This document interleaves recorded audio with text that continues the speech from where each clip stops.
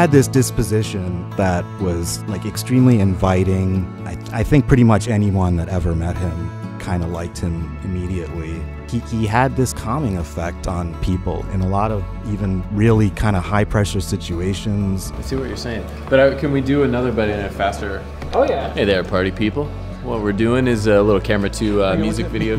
I mean, he treated everybody like he was their friend, like he's known them forever. He treated them with respect, loved everyone. If he didn't, he wanted to and tried to. He, he couldn't stand not getting along with people. He couldn't stand having bad things to say about people. You very rarely heard Josh say a negative word about anybody. He was giving, funny, loyal, just inclusive, wanted to include everybody in everything. Wanted his friends who didn't know each other to be friends. Josh suffered fools. He actually loved fools. Right now, in this moment, it feels like a profound realization because I've just been judging on humanity so hard, judging myself so hard. Really, we're all just doing the best given the conditions and the environment that we uh, experienced. You know? I think people are pretty cool. People are pretty awesome. So am I. he became an expert at anything that he tried. I've never really seen that in anybody before. Just his ability to like kind of teach himself things to a level where like he became an expert. Josh was easily one of the most talented people I've ever known. The guy was just bridling with pure happiness and talent. He just loved talking to people and getting to know where you're from, who are you, and having a laugh, being kind, genuine kindness, you know. He, he was genuinely kind to people he didn't know, which is a sign of true character, really.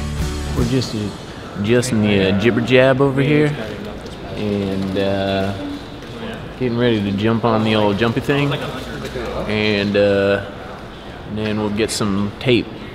We'll film some tape. That's what we're to do. That's what we're doing. So then moving pictures? Yep, uh, movie, movie, movie pictures that you can watch on your telephone. You one of those. Of course, when I met him in New York in the 2000s, he had this wonderful fro, beautiful. And then one day, he totally shaved his head. And somehow, he didn't lose any of his vibe. That's what kind of guy he was. At the heart of everything, Josh was just, he was a beautiful soul. If anyone was a beautiful soul, it truly was Josh. And anybody who knew him, um, I think would agree with that. He just, he, he was so beautiful inside and out. I think he elected in the end to, to just follow the peaceful path.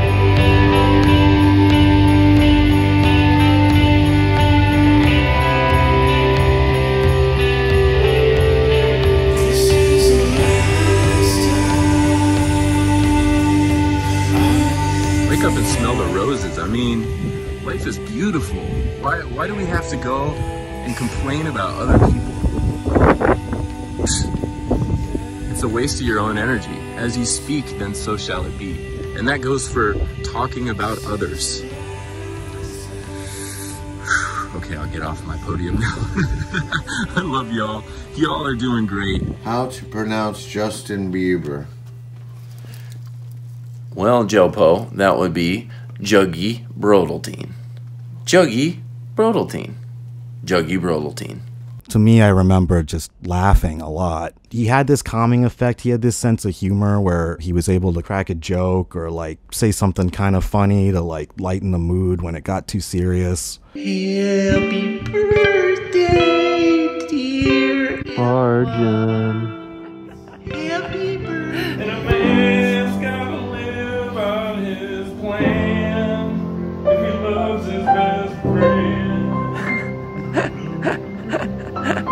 Arjun. He, he was really funny. I mean, I just remember laughing a lot. He had it all. He had it absolutely all. He had the best sense of humor that covered everything from, you know, quick wit, quips, smart-ass comments to just plain out stupid, dumb, goofy, silly, and everything in between. And not minding to make fun of himself. And that that really took it to the next level because when you're hanging out with somebody like that and they they just love to make fun of themselves, there's nothing more delicious. The most valuable thing I learned in high school was just like doing random acts of kindness for people. Strangers just love it when you pop in and out with just like a random act of kindness, uh, in my experience anyway. He was like this guiding light for so many people, a best friend for so many people, therapist for so many people. I mean, he had a way of personally reaching out to like every single individual he he kind of interacted with and like kind of talking with them on their level. There was nobody like him. It was like dating somebody that you know is polyamorous. They love you, but they also love other people. You're in a polyamorous relationship with Josh. You knew that he loved you, but you knew that he loved other people as well. And that was the beauty of Josh, that he could make you feel special. You knew that he was as real with you as he was with everybody else. As far as I'm concerned, Josh's legacy, great friend in the truest sense of the word. Great bandmate, great friend, you know, a brother.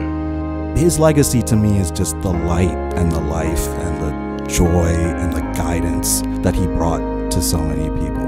And just all the connections, you know, all of us are connected through him, really.